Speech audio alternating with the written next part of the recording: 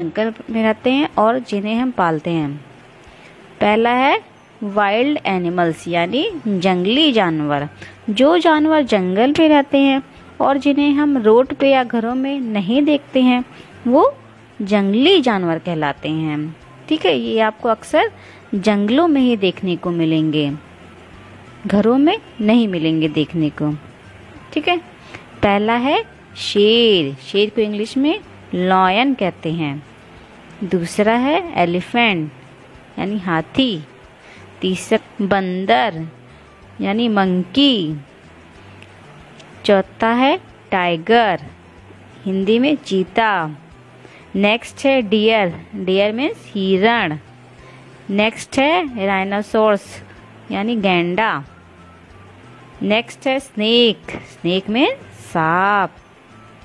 Next है crocodile यानी मगरमच्छ नेक्स्ट है फॉक्स फॉक्स मीन्स लोमड़ी। नेक्स्ट है गोरीला ये सब जानवर आपको जंगल में मिलेंगे। नेक्स्ट है हिप्पोपोटामस नेक्स्ट है जेब्रा जेब्रा मीन्स दरियाई घोड़ा। नेक्स्ट है बियर बियर मीन्स भालू।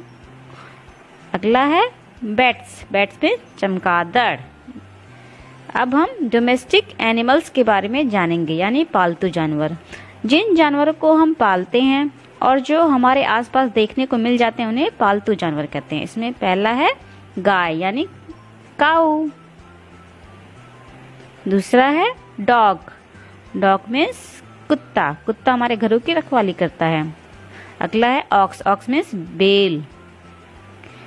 अगला है गॉट गॉट मीन्स बकरी। नेक्स्ट है कैमल कैमल मीन्स ऊट। अगला है पिक पिग मीन्स सुअर नेक्स्ट है शिप शिप मीन्स भेड़। भेड़ से हमें ऊन मिलता है। अगला है, गधा, यानी डंकी। तो ये आज हमने डोमेस्टिक एंड वाइल्ड एनिमल के बारे में अध्ययन किया।